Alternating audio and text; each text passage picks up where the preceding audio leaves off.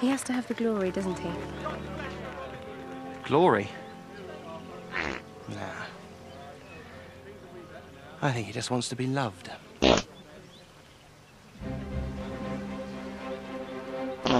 love you.